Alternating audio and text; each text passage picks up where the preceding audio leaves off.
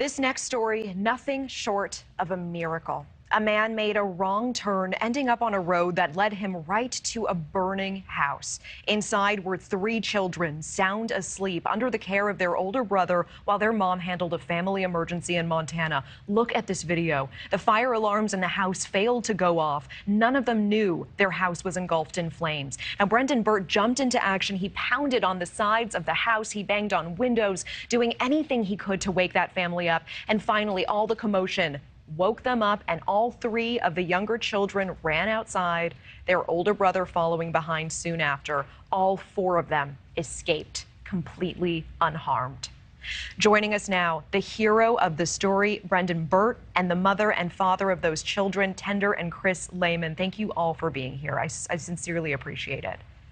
Hey, Thanks for having us. Brendon, I want to start with you. When when you saw that house engulfed in flames, what were you feeling in that moment? I just, you know, I just couldn't believe what I was seeing. I've never seen anything like that in my life. So I just had to act real quick because I knew how bad it was about to get. And, uh, you know, I just, I, I, had to assume that people were in there. You can't just assume nobody's in there. So it was like two in the morning. So I just did what I had to do and everything luckily turned out to be the way it was supposed to be. So Absolutely, absolutely. I mean, what made you even start banging on those windows? Because you didn't know anyone was home uh, for a fact, right? Was it just the natural next thing that you had to do? Yeah, just like, I don't know, I just knew I had to do something because it was just every second going by, I was getting worse. And uh, I don't know, it was just, it was like a movie. It happened so quick. I just had to act, you know? Absolutely. I can only imagine the adrenaline that must have been going through you in that moment. How long did it take before people finally started going out of that front door? And, and what was the relief that you felt in that moment?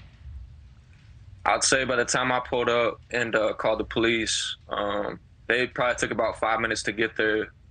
So I'd say it took three to four minutes for those kids to get out. And about a minute later, the police got there and uh, they were already out the house at that point, we were trying to get the dogs out. So me and Spirit, the um, youngest daughter, their youngest daughter, we went to the back door and I broke the glass and opened the door, trying to get the dogs out. And I don't know if the dogs got out through the back or where they got out, but we ended up being able to get two dogs out of the house. So, are, are all of the animals okay? No, we lost no. five of them. We lost our daughter's two ESA dogs and my husband's and my dogs. I'm so sorry to hear about that, and, and certainly Tender and Chris, so sorry to hear about your home as well. Can I ask, how were you feeling when you found out how your children managed to escape the fire? Well, I made a four-hour drive in two hours. Yeah. It was it was intense. Um, pulling up the ring video footage and watching it, I just I was in shock. I couldn't. It was it was horrible, but knowing they were safe. I mean, we're we are sitting here and there's six of us in the camper and we still feel blessed. Yeah. Our community has been amazing. So. Absolutely. Tender, let me ask you specifically, is there is there anything that you want to say to Brendon? Oh, he knows. I've said it all to him. He has family. This man His family now. He has been in contact with my children every day. And I know that it's a healing process for him just as much as it is for my kids. Um, He's been there. He was invited trick or treating. He's going to be in all the Christmas cards from now on. He's going with his mom and dad and grandma and siblings. He never had sisters before, I don't think. So, Brendon, you just gained a whole new family. Uh, how does that feel? I mean, I guess it's not the way nobody wanted it to be this way, but the fact that they're safe and they're found family now, it's like it's a good feeling. Yeah. You know, at this time, we're just trying to get, make sure everybody, you know, sends them money through GoFundMe or whatever anybody can do. You know, whether it's 20 bucks, 100, whatever you can do just to help out because it'll add up.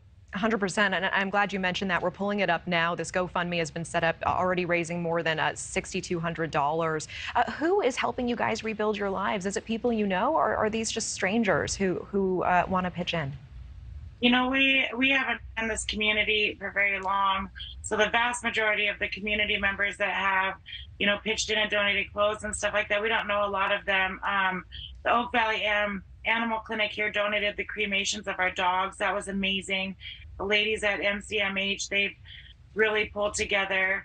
Um, but the vast majority of the donors on the GoFundMe are strangers. We don't know who they are, but we're so grateful for all of them. I mean, I know that it's a big goal, but you can buy a whole house here for that amount of money, and we need some place to live while we rebuild because we're going to rebuild. I hear you. You will rebuild. And Brendon, last question: What do you? What's your response to people who are calling you a hero?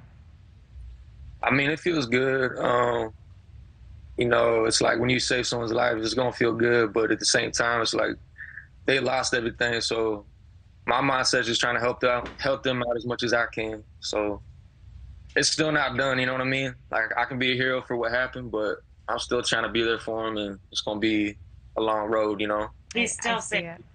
It would have been worse if he'd not have been there. Mhm. I see it, and I see that touch on the shoulder from Tender. Uh, and thank goodness for a wrong turn, Brendon, and thank goodness for you, Brendon Birt, Chris, and Tender Lehman. I, I sincerely appreciate your time. Thank you. Thank, Thank you. Thank you for watching. Go to newsnationnow.com to find News Nation on your television provider. And don't forget to click the red subscribe button below to get more of News Nation's fact driven, unbiased coverage.